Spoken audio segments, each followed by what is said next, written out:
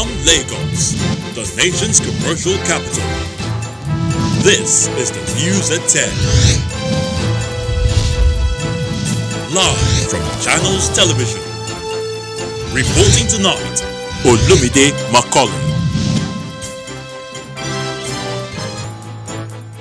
Good evening. Tonight, police killed two suspected kidnappers in a gun battle in Tambuwal local government area of Sokoto State. Independent National Electoral Commission INEC declares results of by-election in 11 states, announces plans to conclude elections in outstanding areas on December the 9th. Six police officers drown after their boat capsized in southern Ijaw local government area of Bayelsa while on election duties. Ghanaian, Ghanaians prepare for the polls as President Nana Akufo-Addo faces main rival and former President John Mahama.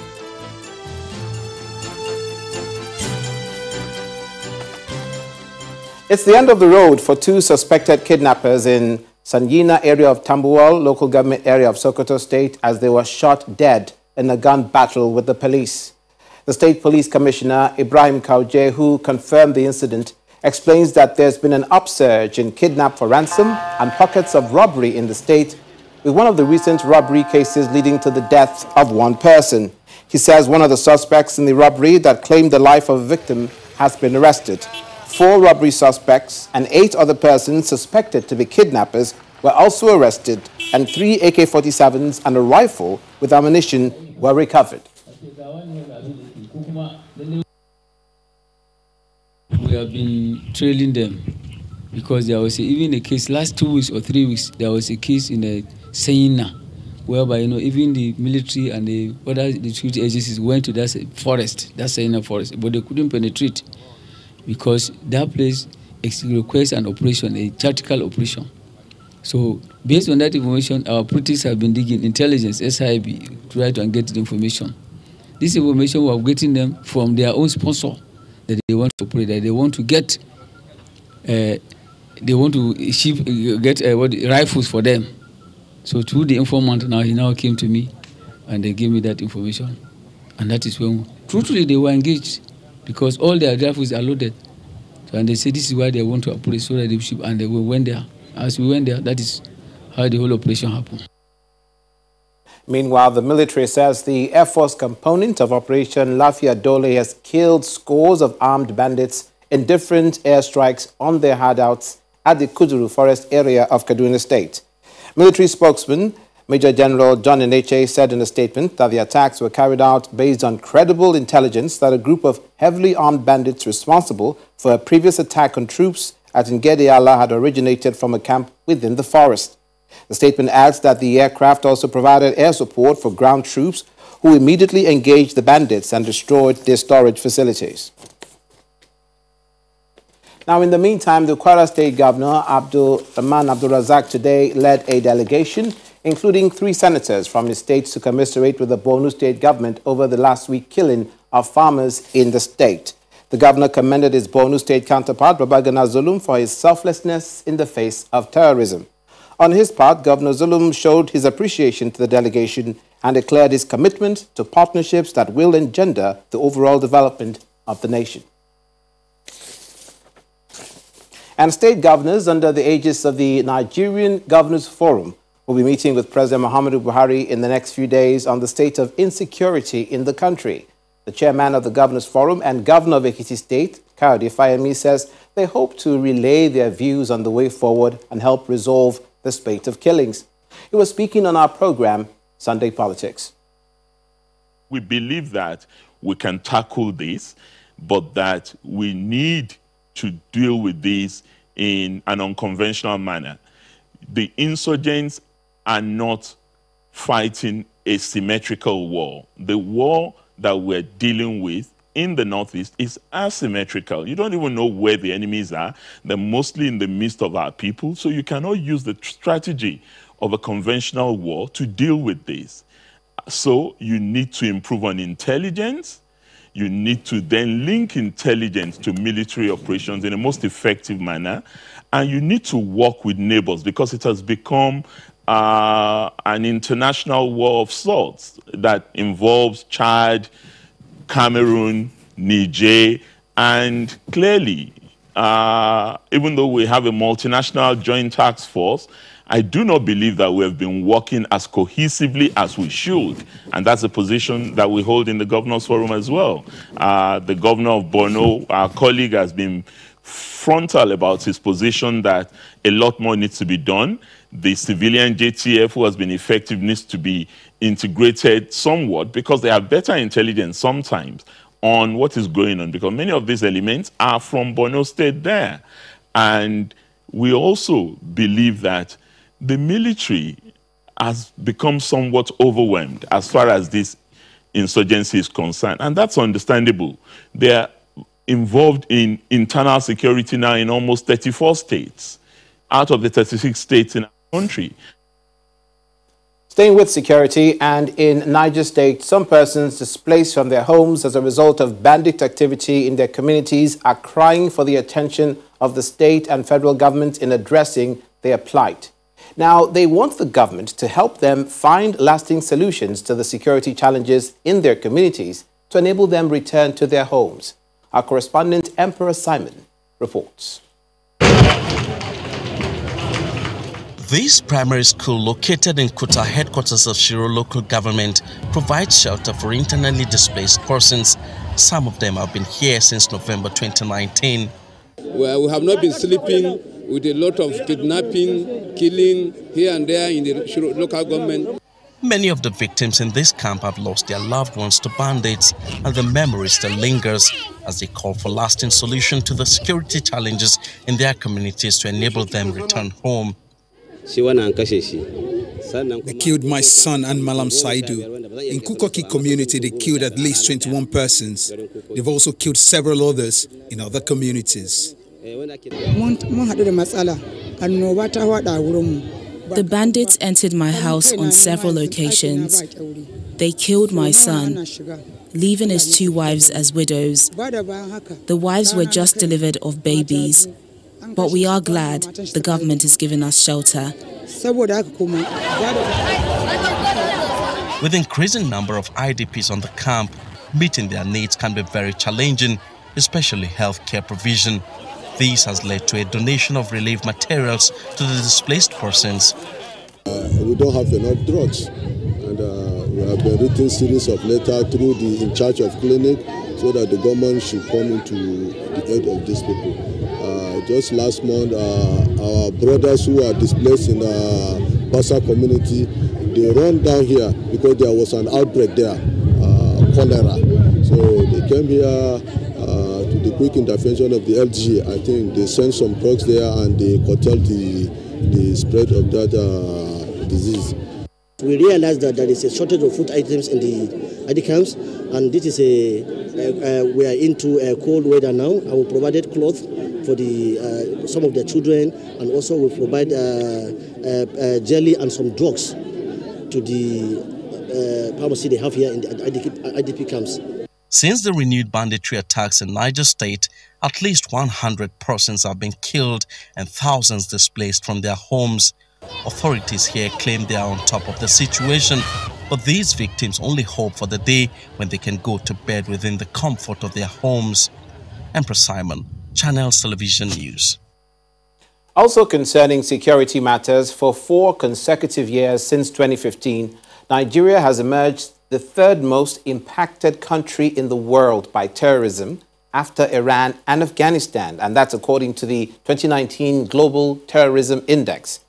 An update to the report in 2020 shows a general decline as deaths from terrorism reach a five-year low. But in spite of this, Afghanistan and Nigeria are the only two countries to have persistently experienced one more than a thousand deaths from terrorism.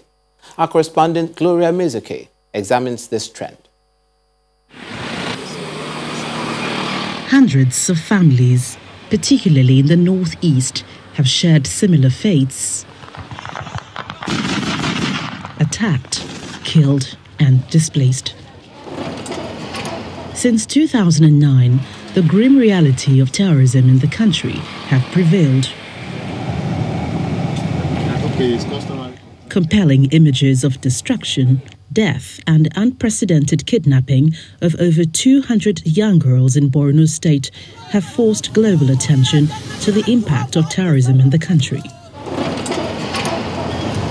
In 2014, Nigeria emerged second most terrorized country in the world. Subsequent years after, it has sustained a third position according to the 2019 Global Terrorism Index, GTI. This begs the question why? I think we have a, an elite and a political class that have decided not to sit together and work together and seek a solution to our problem. Although there are concerns about Nigeria's counter-terrorism approach, the federal government maintains that the insurgent group Boko Haram has been defeated and degraded. Articulated conventional attacks on centers of communication or, and, and uh, population in towns and so on, they are no longer capable of doing that effectively. So I think um, technically we have won the war. This claim is perhaps synonymous with the GTI's report, indicating an 89% decline in the deaths caused by this sect since 2014. But the core argument, which seems to persuade an adverse evaluation of the government's efforts, is the recurring conflict and massacres. A government or its military that does not have the capacity to deal with its security challenges wouldn't be said to be serious. We need to be adequately equipped. How can we explain that a ragtag terrorist organization will continue to attack our military, attack civilians, even to the extent of attacking a sitting governor? Amidst the criticisms, conflict engendered by terrorism has left over 7 million people relying on humanitarian assistance. Other perspectives proffer a drastic change in strategy. The service chiefs, for instance, they have been there. How can you rule out possibility of sabotage even within the military? That professionalism is now being eroded. Younger officers are retiring and people are serving 39, 40 years in service. We can, we can move forward like this. Let the president take the bold initiative if the government is really serious about this thing, I think this is the best time to begin to uh, embrace state police so that we can, every state can take ownership. This is the time to also begin to improve on our, our national data so that we know who we are, where we are, and what we do. The 2019 Global Terrorism Index report, published by the Institute of Economics and Peace, placed other countries like Syria, Pakistan, Somalia, India, and Yemen, amongst others, on the top 10 ranking. Gloria Umezuke, Channels Television News. And the police in Bayelsa State have confirmed that six of its officers have drowned after their boat capsized on their way to Oporoma in southern Ijaw local government area of the state. The police public relations officer, Mr. Asinim Butswat, confirmed that the boat was conveying 11 officers when it capsized, though there is no report of any collision with another boat. He says the bodies of the six victims have been recovered while the remaining five officers survived the incident. The officers were on their way to carry out their official assignments during the Bayelsa West and Bayelsa Central senatorial by-elections that took place yesterday.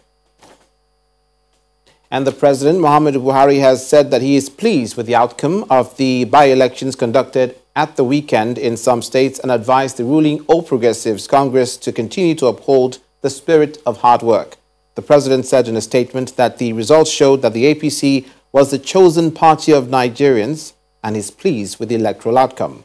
He urges the party to uphold the spirit of hard work, unity, progress, cooperation that forms the bedrock of these victories. In part two, after the break, Kogi State Governor Yahaya Bello calls for caution against another round of EndSARS protests as Lagos police threaten showdown against protesters. Do join us again.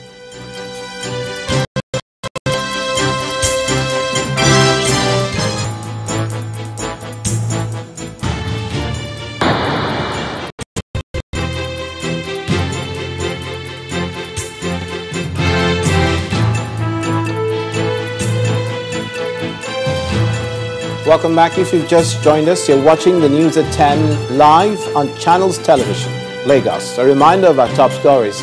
Police killed two suspected kidnappers in a gun battle in Tambuwal local government area of Sokoto State.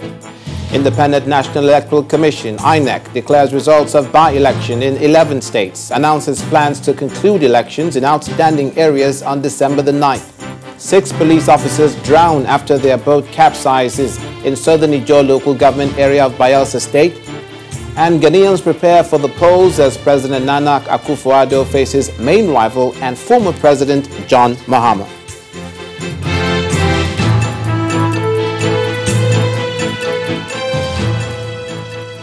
To politics. The Independent National Electoral Commission, INEC, has announced the result of yesterday's by-election in 11 states across the country. But there are some concerns in some states. This report highlights the outcome of the just concluded elections across the country. I'm the returning officer for the 2020 Cross River North. We begin in Cross River State where the returning officer has declared Stephen Ode of the People's Democratic Party, PDP, as the winner of the 2020 Northern Senatorial by-election in the state. The returning officer announced Dr. Ode as the winner of the by-election conducted across five local government areas of the state. The election became necessary following the death of late Senator Rose Oko, who died in March 2020. Stephen Adi Ode of PDP, having satisfied the requirements of the law, is hereby declared the winner and returned elected. In Imo State, Governor Hope Uzodinma has reacted to the outcome of the Imo North Senatorial District by-election, where INEC declared his party, the All Progressives Congress APC, as the winner of the election without returning the party candidate. The governor thanked the people of Imo North Senatorial District for voting overwhelmingly for the APC, noting that the victory has shown once again that Imo State is an APC state. I appreciate also the commitment of our people and resilience in the face of uh, various attempts to distract and confuse our people. They remained uh, committed and uh, voted massively for the party and uh, we've once more shown Imo State is an APC state committed to the ideas of APC and committed to service and change. Lagos State Governor Babajide Sanwo-Olu has congratulated the All Progressives Congress candidate Tokunbo Abiru on his emergence as the senator-elect for Lagos East Senatorial District. The governor commended the electorate for coming out to perform their civic responsibilities and for voting in large numbers for the two candidates put forward by the APC. It's really a victory for our people, and, and they are the ones that we need to truly congratulate, you know, for coming out um, in that numbers. In Bauchi State, the process was not particularly smooth sail after a mild drama played out in the declaration of results after the PDP agents raised an objection that the winner shouldn't be declared due to the disruption of the process. The session turned rowdy as agents argued back and forth while the returning officer, Professor Ahmed Mohamed, insisted the process must go on. The APC candidate Bala Ali was eventually declared winner of the keenly contested election. Bala Ali of APC, having certified the requirements of the law, is hereby declared the winner and is returned elected. The only woman who emerged victorious in the December 5 senatorial by-election has been returned elected in Plateau State. INEC's returning officer announced that Nora Dadut of the All Progressives Congress polled 83,151 votes to defeat her closest challenger with a margin of 12,313 votes. Meanwhile, the Independent National Electoral Commission, INEC, says it will conclude the by-election for Bakura State constituency in Zamfara State on Wednesday, December the 9th. The Commission, in its assessment report of the conduct of last weekend's by-election, condemns what it describes as harassment and assault of its officials. It's promising to not condone further attacks on its staff or destruction of material in future elections. The electoral umpire is warning all those who've no business with the conduct of Wednesday's supplementary election to keep away from the 14 polling units affected. The Commission has also commiserated with the families of the six policemen who drowned when their boat capsized in Bayelsa State.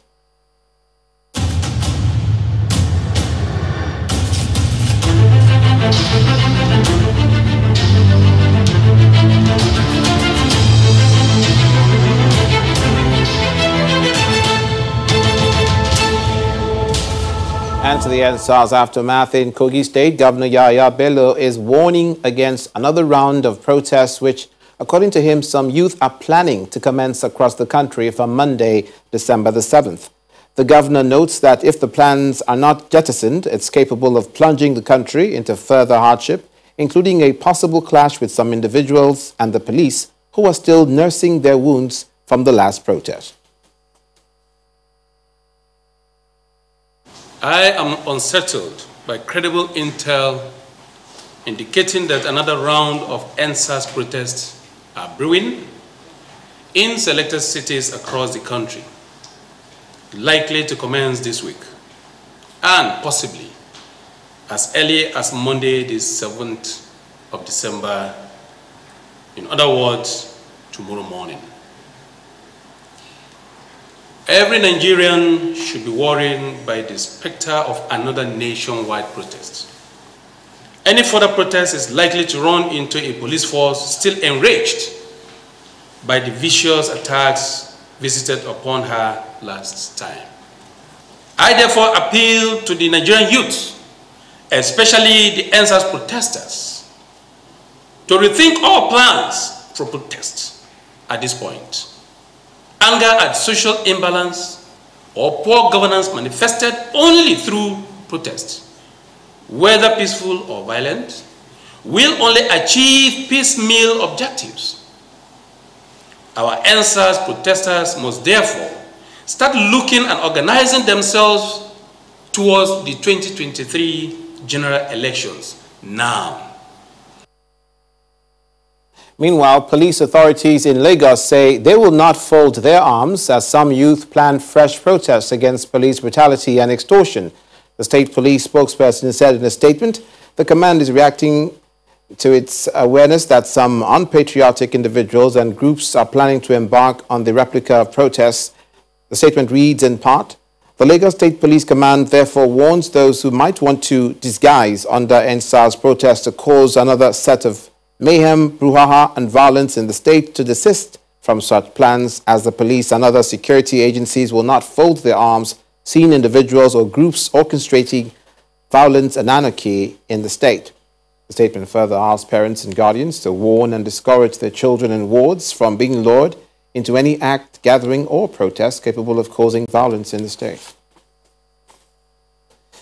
The Emir of Kano, Alhaji Aminu Ado Bayero, is calling for more unity in the country and is asking the citizens to toe the path of peace. The traditional ruler made the comments today when he paid a visit to Lagos State Governor Babajide Sanwo-Olu. I am actually here in Lagos to felicitate with uh, my brother, His Excellency the Governor, then the Oba of Lagos, who happens to be a big brother or even a father to me. We are just here to greet them, to bring the goodwill of Kano state government and Kano people. Uh, the long relationship between Lagos and Kano cannot be overemphasized. So whatever happened to Lagos is happening to Kano. Therefore, over the crisis we had few weeks ago, we find it necessary to come and uh, greet Lagos people, to sympathize with everybody who is here, and to send bring goodwill message from my people generally in Kano.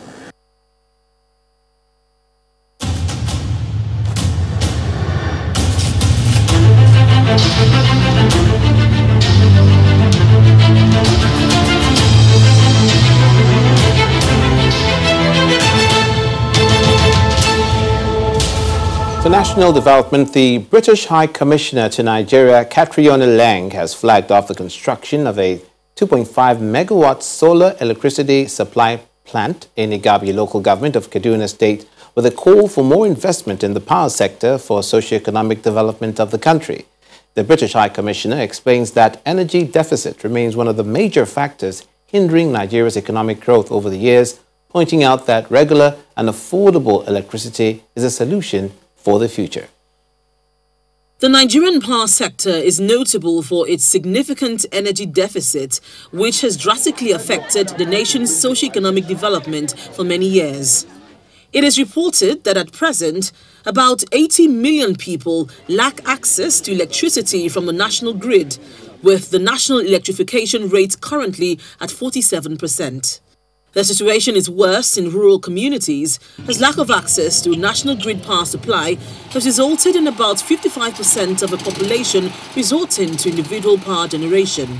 Yep.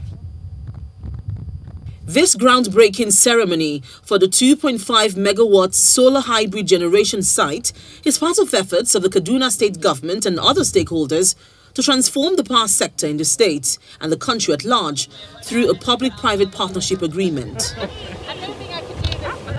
The project is deploying significant investment to improve service delivery to communities around Igabi and Zaria local government areas.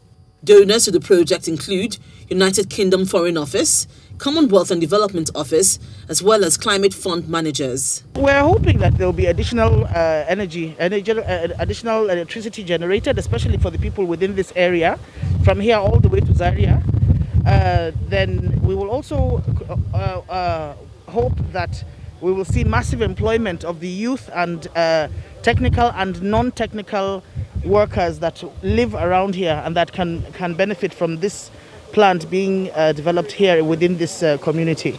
Energy is one of the sectors we are focused on, recognizing that no economy can develop without sustainable and secure energy supplies. And I'm very proud to be a partner of the Kaduna government and the excellent company Konexa, um, which has just won Energy Company of the Future Award from the African Development Bank, who have come up with a really innovative solution, which is a combination of on-grid and off grid, and a way of servicing everybody from the business community to the poorest of the poor, making sure that um, people can pay for energy in a sustainable way. This integrated approach, requiring an investment of approximately $50 million, will enable rural communities who currently cannot rely on electricity distribution companies have access to regular power supply. When the news at 10 returns, residents of Umueze Oga community in Aguata local government of Anambra State cry out for help as erosion continues to threaten their livelihood. Please stay with us.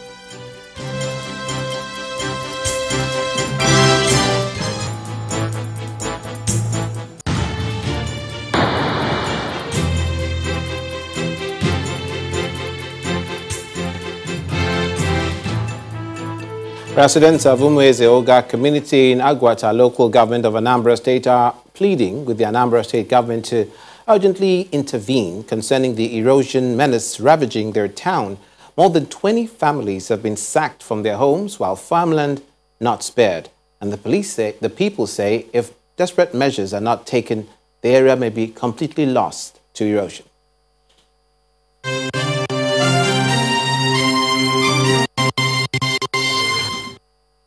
Anambra State, southeast Nigeria, is ranked among the smallest in the country with a landmass of 4,844 square kilometers.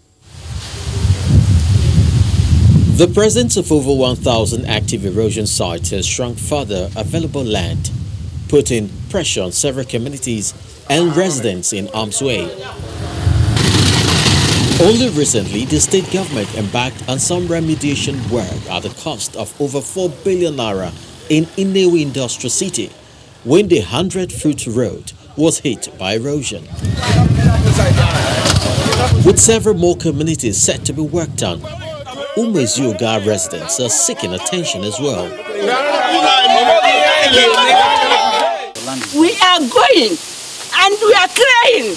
Come to our aid. We have, we have voted somebody. Let the person come and help us. Eh, eh. For over seven years, they've battered this gully erosion threat, which has continued unabated and left their community almost deserted.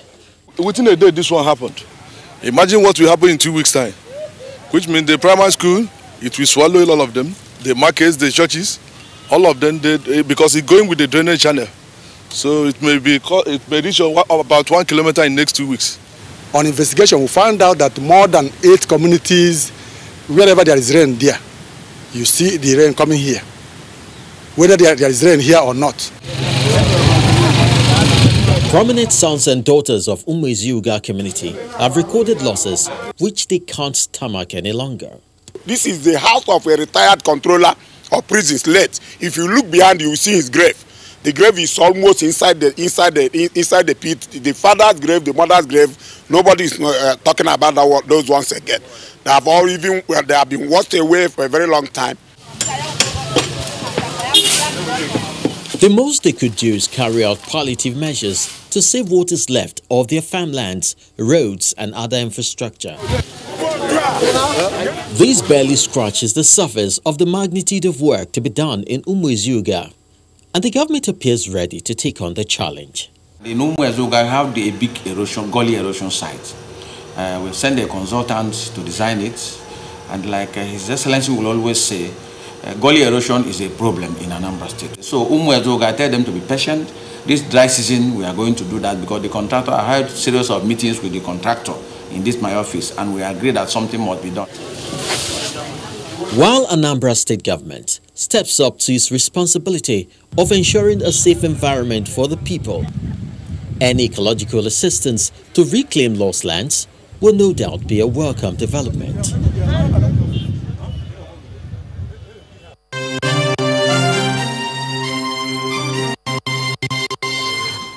The Socio-Economic Rights and Accountability Project, SERAP, has sent an open letter to President Muhammadu Buhari asking him to urgently instruct the National Pension Commission to use its statutory powers to stop 36 state governors from borrowing or withdrawing 17 trillion naira from the pensions funds purportedly for infrastructure development.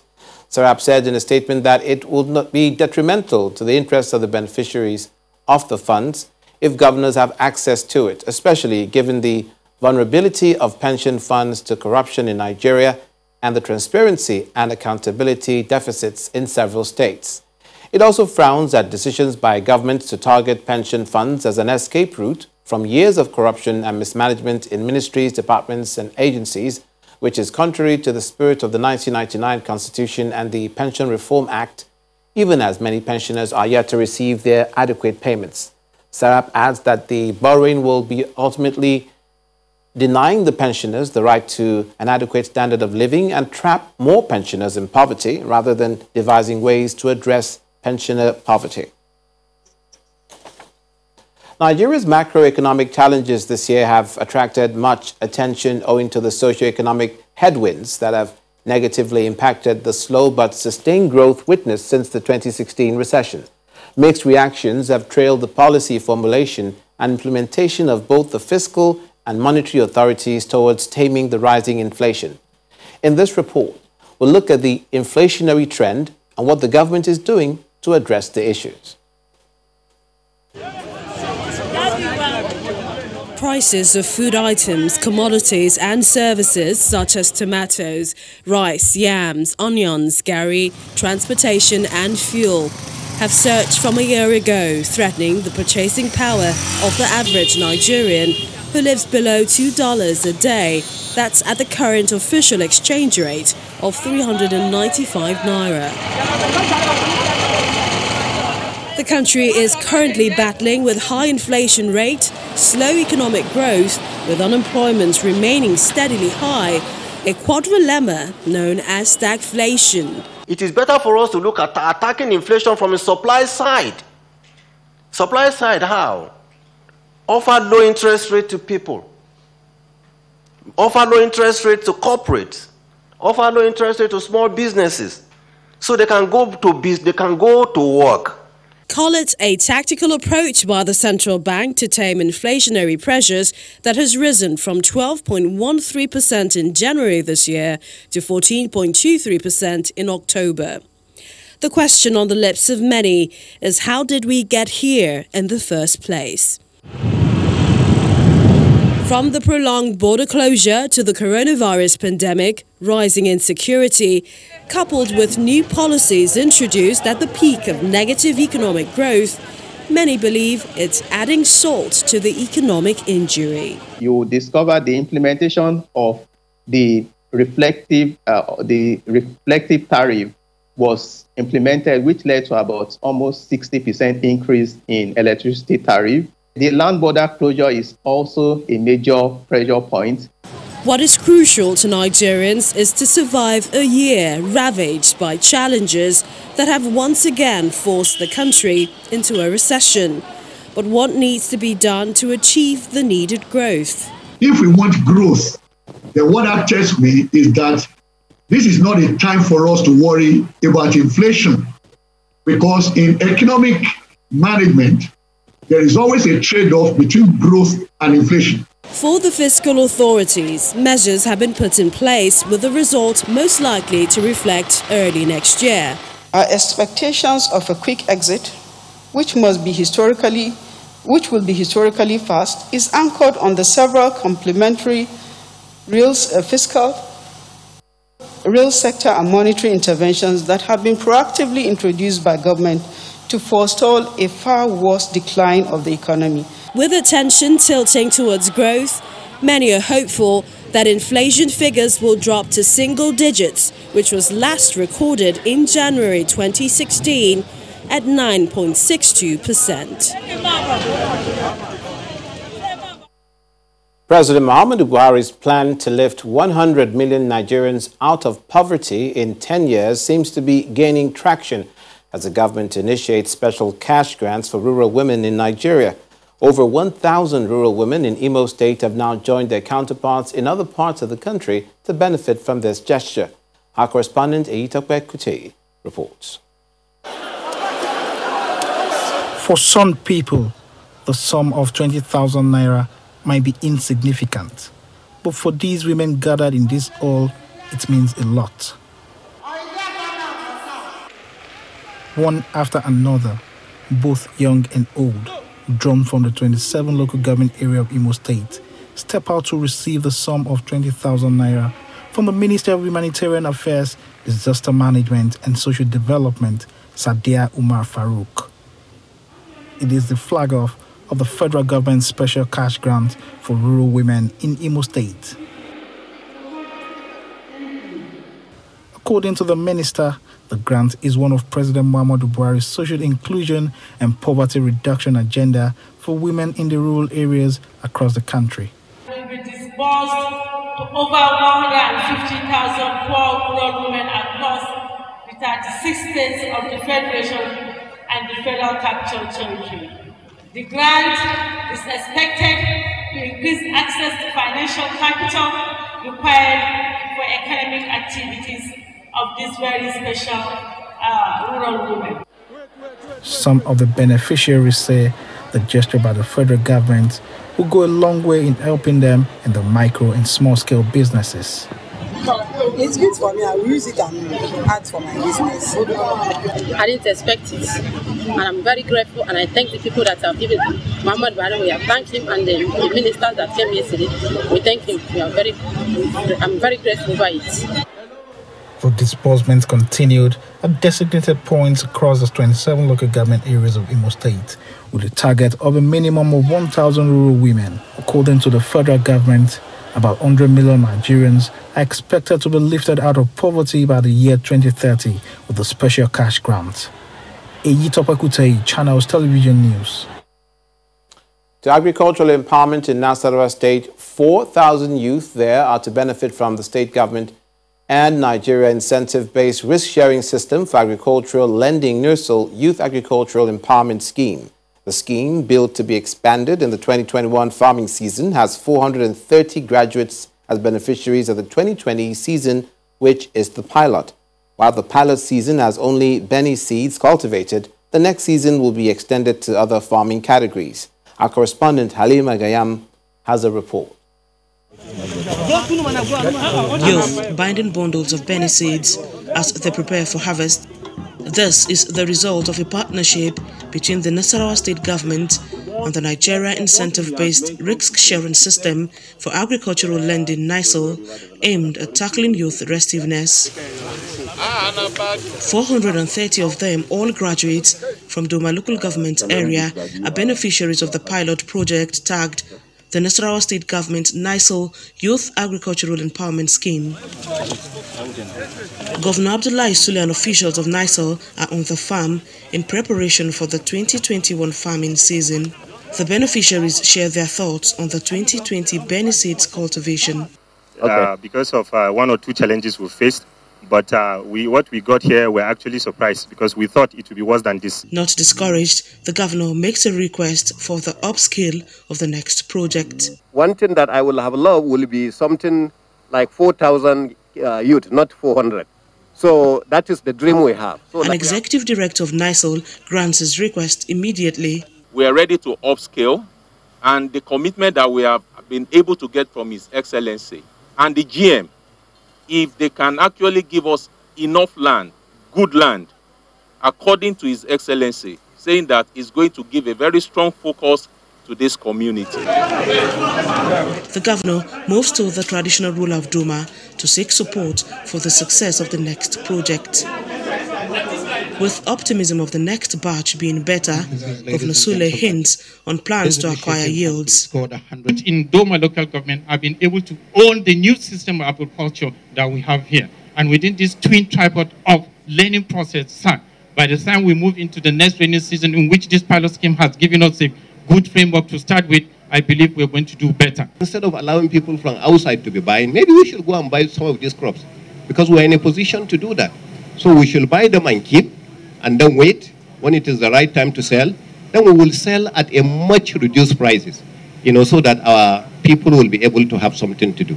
Although the next farming season is around the corner, the state governor and his partners are shoring a better yield in 2021, which translates to making 4,000 young persons self-reliant.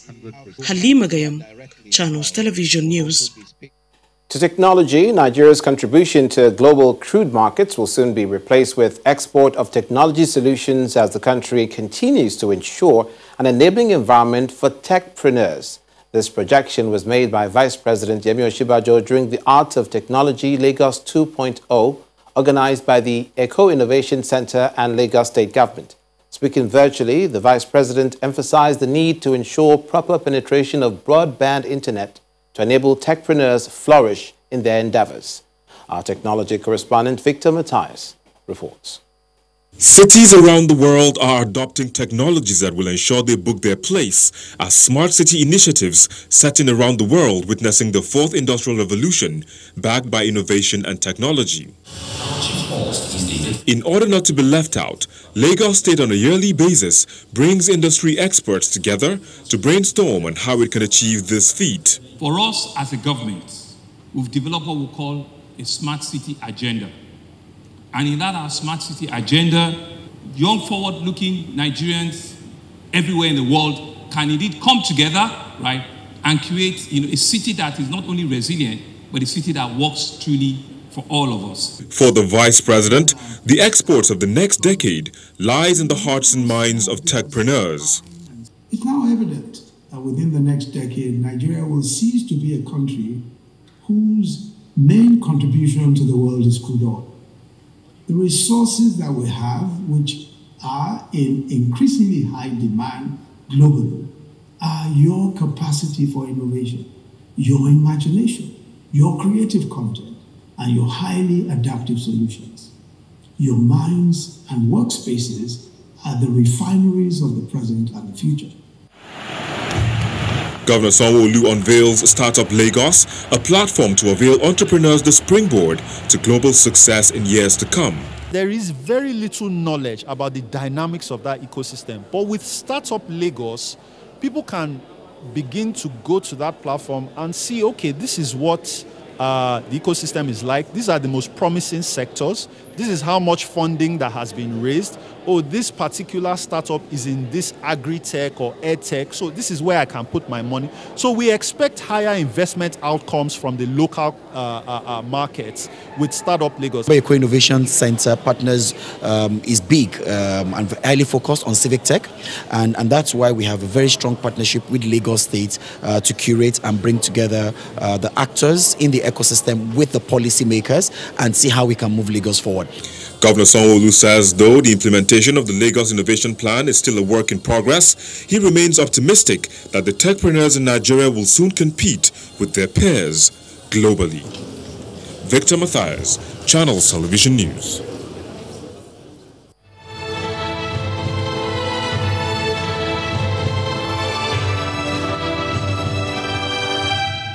President Trump's personal attorney, Rudy Giuliani, who's been traveling the country raising unsubstantiated claims of voter fraud, has tested positive for COVID 19.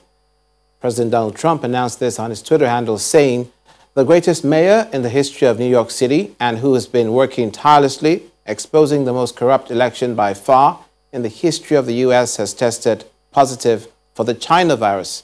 Here's more on this and other developments on our global update. The U.S. has seen record infections in recent days with a daily death toll of more than 2,000. The latest surge in cases is putting strain on hospitals, with large parts of the state of California now under new lockdown restrictions. Meanwhile, states are also preparing to distribute a vaccine with possible approval approaching. The Food and Drug Administration says it's meeting to discuss the UK approved vaccine made by Pfizer on Thursday and will discuss approval of a second vaccine made by Moderna on December 17th. Over in the UK, Britain is preparing to become the first country to roll out the Pfizer BioNTech COVID 19 vaccine this week.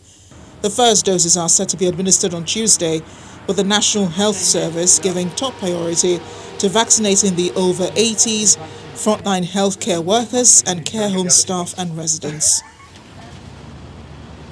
South Korea has raised its COVID-19 alert levels as it battles a rise in infections. Gatherings of more than 50 will be banned in the capital Seoul and surrounding areas from Tuesday, while gyms and karaoke bars will be closed.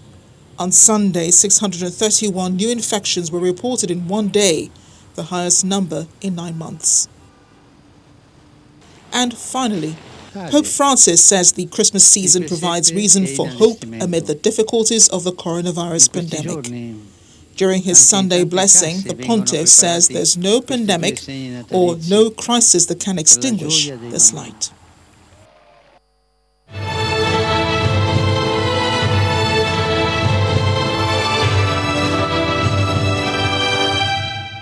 Voters in Ghana will head to the polls on Monday to choose the country's next president in what is expected to be a tight race between incumbent Nana Akufo-Addo and his predecessor, John Mahama. The two longtime rivals who are squaring off for the third straight time as they seek a second and final term are widely seen as the two frontrunners in a crowded field of 12 candidates.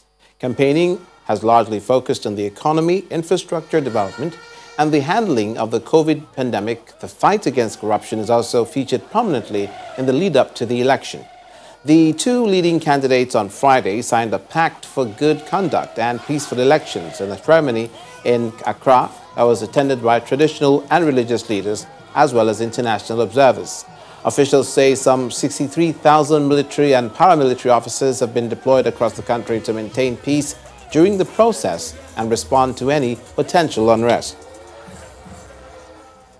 Talks between the UK and the EU resumed in Brussels today as negotiations uh, negotiators attempted to resolve their remaining issues and secure a post-Brexit trade deal before a December 31st deadline.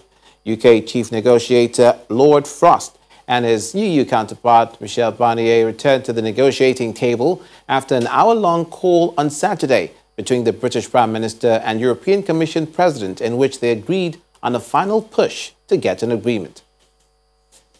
In a last-ditch attempt to strike a Brexit trade deal and avert a chaotic parting of ways at the end of the year, British and EU negotiators are in Brussels for talks. We're going to be working very hard to try and get a deal. We're going to see what happens in negotiations today, and we, we will be looking forward to meeting our European colleagues later on this afternoon. It comes after British Prime Minister Boris Johnson and European Commission President Ursula von der Leyen spoke on Saturday and instructed their teams to resume talks after they were paused a day earlier due to an impasse over three issues fishing, fair competition, and ways to solve future disputes. With time running out, The UK says there is still a deal to be done, but the issues need to be resolved. Unless we can resolve the, these quite fundamental uh, divergences at the moment, then uh, you know we we are going to have to uh, take a position in the next few days. Since Britain formally left the EU on January 31st, negotiators have missed a series of deadlines to reach a deal with the world's largest trading bloc before a transition period ends on December 31st. If they fail to reach a deal, a five-year Brexit divorce will end messily just as Britain and its former EU partners grapple with the economic cost of the COVID-19 pandemic.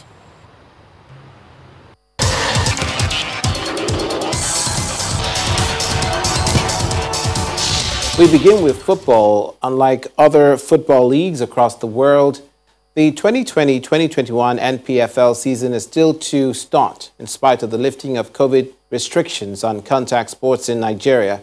This report highlights the challenges teams are facing as the waiting game continues. Of the world, they've started their league uh, for the past three to four months, I think. But the major problem now in Nigeria is the league have not even have the definite date. 53 days has passed since the federal government paved the way for the return of the NPFL after the Presidential Task Force on COVID-19 lifted restrictions on contact sports. Not long after, the league management company, the LMC, proposed any time from November the 15th as kickoff date. Despite its endorsement by the Nigeria Football Federation, the league has not yet started, and there is no official word on when it will. Yeah, I think it's a problem because uh, once you have a date set, we start our preparation, our, our mindset to the league. But now we're just training and we don't know what's happening. We don't know if when the league starts, if it's next year, this year. So I don't think that's good. In, in football, that's what we call uh, periodically uh, time. So there's a time you need to prepare your team, you know, mentally, physically, aspect of the game before you go into the tactical or techniques aspect. But when you don't even know when the league is going to start, so it will affect the preparation.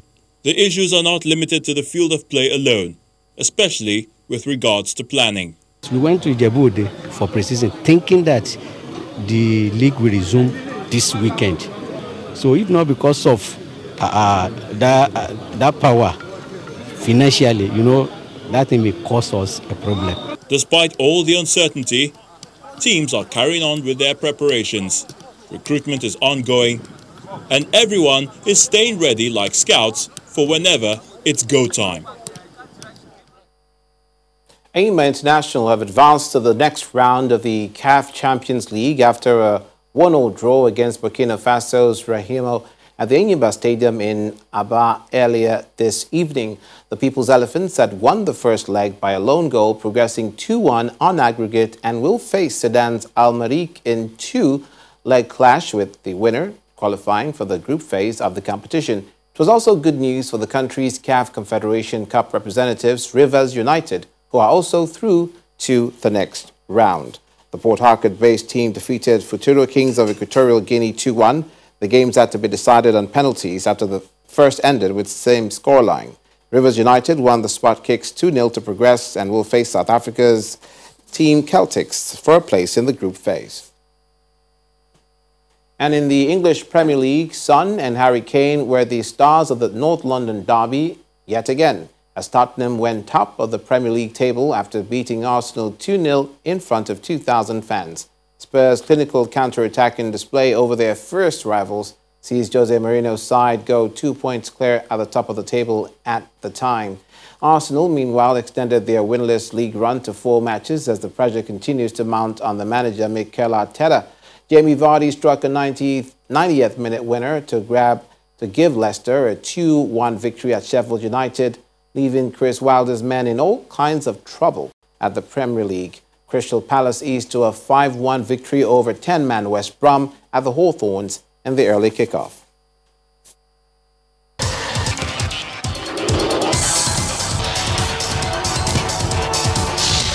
And the main news again. The police today announced that they killed two suspected kidnappers in a gun battle in Tambuwal local government area of Sokoto State. Also today, The Independent National Electoral Commission, INEC, announced the results of yesterday's by-elections in 11 states. The commission also announced plans to conclude elections in outstanding areas on Wednesday, December the 9th. That's it on the news at 10 tonight. Thank you so much for watching. I'm Olumide Macaulay. Do have a good night and a good week.